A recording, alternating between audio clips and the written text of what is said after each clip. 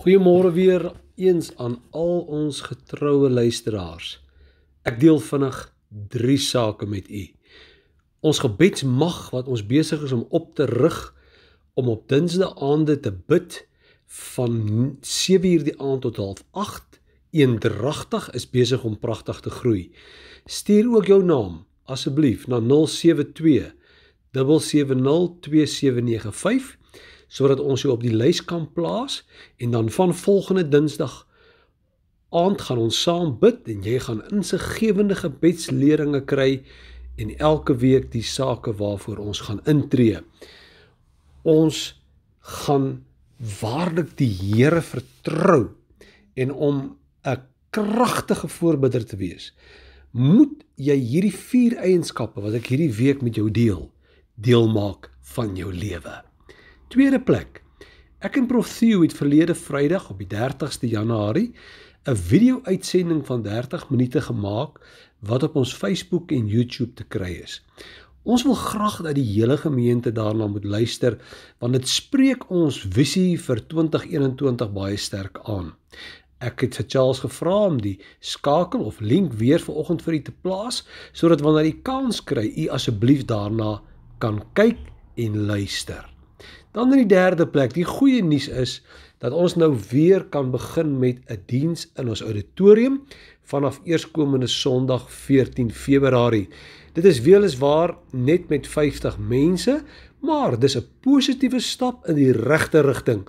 En ek is van oortuiging dat ons 'n maand later ten minste weer met 100 sal kan saamkom en dan 'n maand of 2 daarna met 250. U kan van vanoggend 8uur af boek vir die diens. Ons plaas ook die skakel daarvoor vir u. Let wel, daar sal nie eers komende Sondag kinderkerk aangebied word nie, maar wel vanaf Sondag 21 Februarie. Nou indien u 'n plek kry vir die diens bywoning hierdie Sondag, sal u nou nie weer kan boek voordat almal wat graag geslag in die auditorium 'n diens wil bywoon 'n kans gehad het nie. Ons sal dit daarvan op hoogte hou. Die res van ons gemeente kan regstreeks saam met ons om 09:30 inskakel en die diens aanlyn volg. Onthou ook om hierdie Saterdagoggend tussen 9uur en 11uur vir die nagmaalstelletjies te kom kry by die kerk. Dis vir ons baie belangrik om as gemeente almal saam op dieselfde oomblik nagmaal te gebruik. Aanvaar asseblief dat daar tans goeie redes bestaan waarom ons nie twee dienste na mekaar aanbied nie. Dit gaan nie nou vir ons oor getalle nie, maar ons begin met die dienste en binnekort is ons weer in groot getalle saam. Nou gisteroggend het ek met u begin praat oor vier koninkryksbeginsels wat ons met ons moet saamneem op die reis van 2021. Dit is na aanleiding van 2 Konings 1, die reis waarop Elia vir Elisa die profeet geneem het. Die eerste plek wat ons gister genoem het was Gilgal. Dit was die plek waar die wolk en vuur kolom in die woestyn verdwyn het. Daarvandaan moes die volk in geloof wandel en nie meer deur aanskouing nie. Luister daarna. Vanoggend bring ek die tweede na u. Elia het toe vir Elisa na Bethel geneem. Wat het by Bethel gebeur?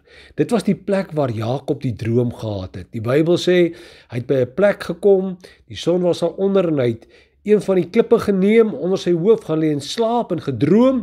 Daar is 'n leer van die aarde opgerig tot aan die spits van die hemel, terwyl die engele van God daar langs opklim en daar langs neeldaal en kyk, die Here het bo aangestaan en gesê: "Ek is die Here, die God van jou vader Abraham en Isak en Jakob."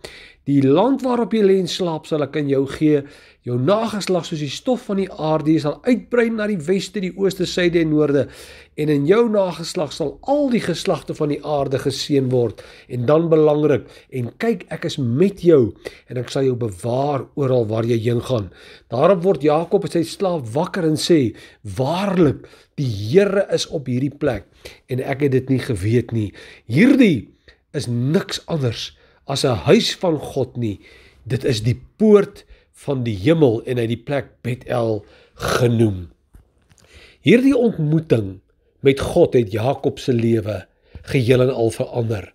Net soos die ontmoeting van Moses daar by die brandende bos in die woestyn sy lewe geheel en al verander het. 'n Mens wat 'n ware ontmoeting met God beleef het, kan nooit weer dieselfde wees nie. En weet jy, ek dink baie dikwels wil die Here met ons ontmoet en het die Here gekom en het hy 'n ontmoetingsgeleentheid gereël en ons het dit nie eers besef nie. Somstyds in 'n diens het die Here met mense ontmoet terwyl ander nie eers daarvan bewus was nie en hulle gedagtes op ander plekke was.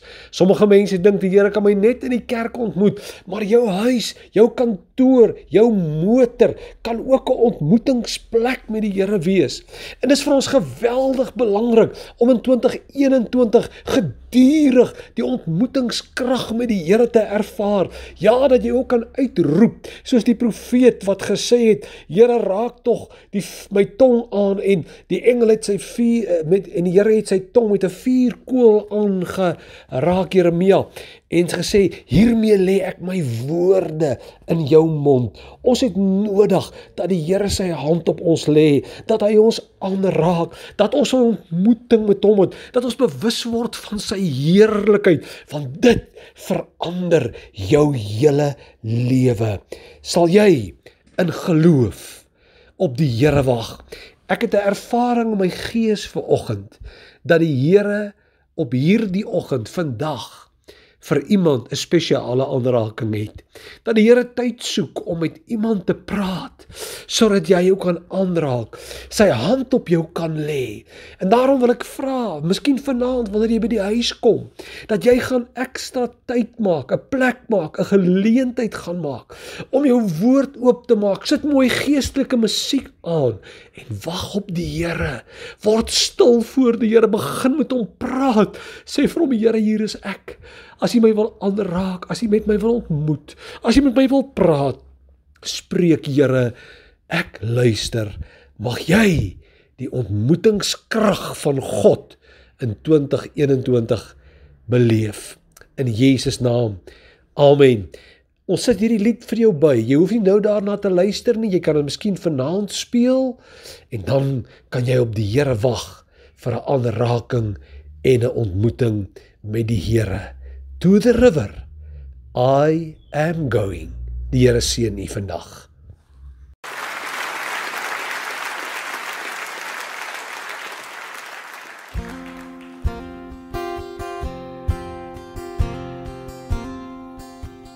To the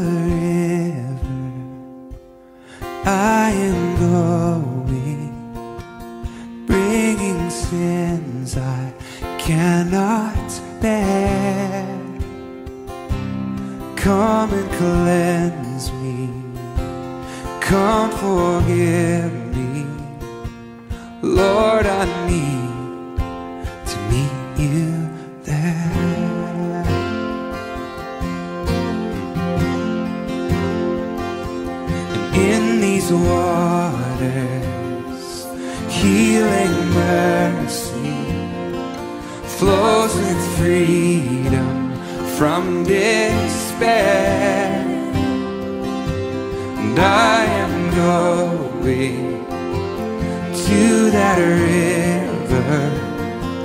Lord, I need to meet you there.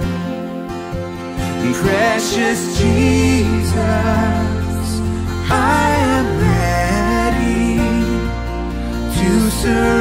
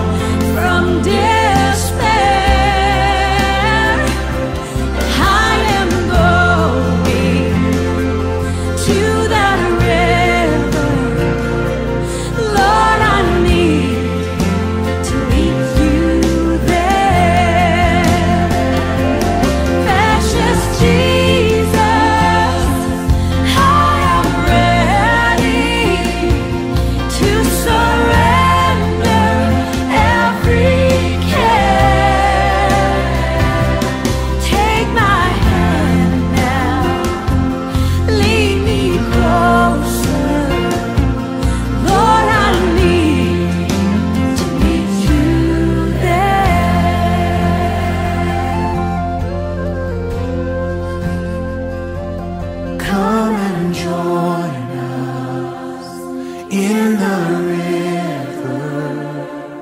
Come find a life beyond compare. He is calling. He is waiting. Jesus longs to meet you there. He is calling.